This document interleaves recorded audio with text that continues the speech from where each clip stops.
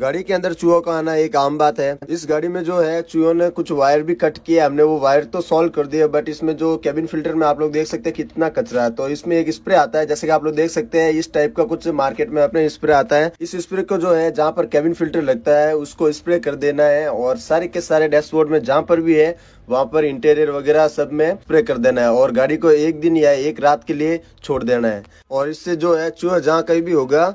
गाड़ी से बाहर आ जाएगा चूहा क्योंकि इसमें से जो ये स्मेल आती है वो चूहे को पसंद नहीं है अगर आप